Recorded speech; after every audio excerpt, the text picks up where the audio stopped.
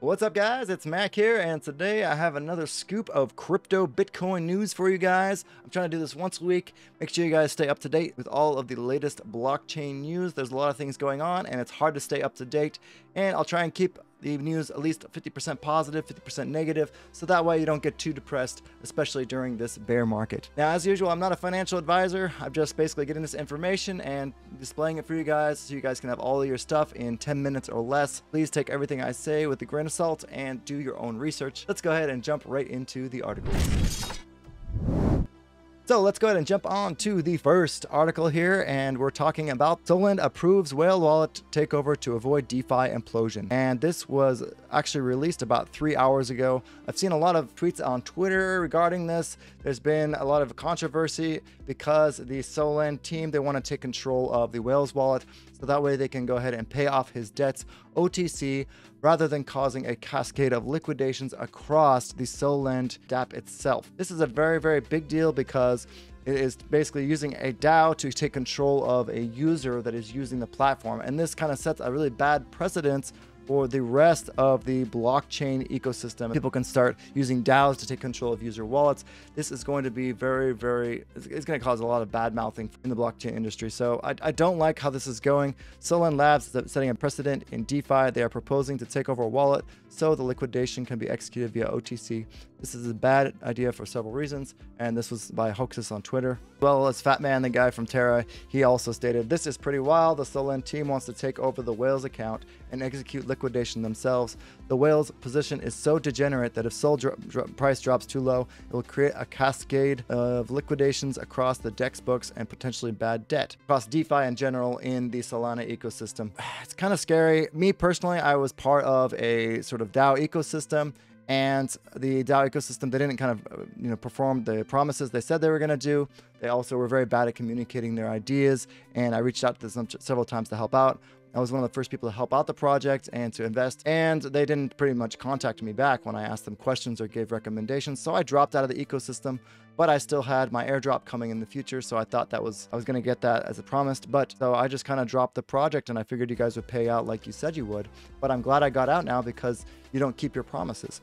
And I feel like this is uh, something that's happening more and more during this bear market. A lot of DAOs are using votes to cut out earlier users so that way they can take more profits for themselves and it's a very greedy ecosystem. Now I think this isn't necessarily super greedy, but I think it does set a very bad precedent, especially when it's dealing with this much money, unless the person who, who actually owns the wallet gets a large say in what's going on here.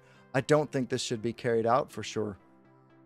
Let's go ahead and talk about our next news article. And this is uh, about a week ago, actually. So it's a little older article, but I just wanted to talk about it because it's very important uh, to, if you guys to know that there are a lot of whales out there and they can dump on you at any time and it can create really great buying opportunities if you do decide to set up a bot or something a buy bot you can buy some of these assets very cheap one of the ethereum users they decided to sell a crap ton of ethereum on 130 million dollars worth of ethereum in six hours on uniswap which dropped the price from 1250 dollars all the way down to 950 dollars so this probably is what helped, you know, facilitate the huge drop in the Ethereum price last week. I know after that we did drop to $950 a few days ago, and now we're back up. Just be aware that these kind of things happen. There is a lot of slippage when you use a DEX, so just be careful when using a DEX and always you know keep your money uh, keep your money safe. And it's good to keep a private wallet but just know that when you use dexes it's more likely you're, you're going to have less uh, liquidity which means you're going to have higher slippage. So he probably suffered about $100 per ethereum uh, in slippage. So let's go ahead and jump back to this new article here. And this one was another about a week ago as well. This came out right after my last update for you guys. And bitcoin has support at 23k but an analyst warned of a dire drop to 8k as global debt unwinds now, last week we did have the CPI reading, or sorry, last week we did have the uh, interest rate uh, meeting, the Fed meeting, which raised the interest rate by 75 basis points. And I believe that that was a very, very conservative number. They need to raise it by at least 100 basis points during the next meeting, which is going to cause more and more dips in the Bitcoin price. So I believe that this analyst is pretty much dead on. We could go to 10 or 8K. BTC sell offs is easing slightly, but traders are afraid that negative net uh, news flows and future U.S. interest rate hikes could push the price lower. And I see a lot of econ- economists saying that, you know, right now the, the interest rate I think is at 2. Point, uh, sorry, 2.8 percent. Sorry, it's like 1.8 or 2.8 percent. But even if they raise it by another 100 basis points, that puts it at 3.8 percent, and we still have, you know, 8.6 percent inflation, which is the Cook number. We need to go ahead and we need to go all the way to we need to raise it by you know 500 basis points to go ahead and meet the inflation. Now, if we're only going for 2% inflation, we still need to raise by another 300, 350, maybe 400 basis points in order to meet the current rate of inflation and try and lower it to 2% uh, inflation year over year. But we're going to see what the actual Fed does. They're very, very friendly with with uh, Wall Street, so they probably don't want to crash the market that hard, but they might have to in order to stop the economy from going into a depression. They're going to have to kind of act right now, I think, in order to prevent the actual depression from going on instead of a re- recession. So you go from recession, then you go into stagflation, then you go into a depression. So we really don't want to go into a depression. We did have a, a depression recession in 2008. I don't think it went so deep as into a actual depression. It looks like this time we have a much higher chance of going into a depression than we did in 2008. Yeah, this is kind of old, so yeah, max pain is at 13,330. Okay, let's go ahead and move on to our next article. And this article is on June 17th, 2022. This was about three days ago. So, sweeping layoffs, hiring, and firing as crypto prices take a massive downturn. So, even though there are a lot of companies that are laying off employees right now or firing employees, uh, there's actually some companies that are hiring right now. So, where you see Coinbase and you see Coinbase, Gemini, and Crypto.com and BlockFi, they're all laying off employees. But then you look and you can see that Kraken and Binance are actually hiring right now, and Ripple is also hiring. So you see some bearish news out there that a lot of people are firing, but there are some companies that are hiring, and I notice the bears are really focusing on the companies that are firing. Many in the crypto world have been glued to their screens with their eyes dead set on financial conditions this week. This isn't the case for everyone though, as thousands are suddenly experiencing the woes of sudden unemployment. Words of encouragement and sympathy also poured out across Twitters and LinkedIn, consoling individuals released from their responsibilities. Some expressed frustration, confusion, and anger, while others expressed gratitude, renewed vision, and reflections. So, yeah, just beware that your job is not secure, and this is going to have a huge effect on crypto. And I think other layoffs are coming in the greater economy itself. There's going to be a lot more layoffs in especially the uh, basically anything besides the basic fundamental industries you need to survive.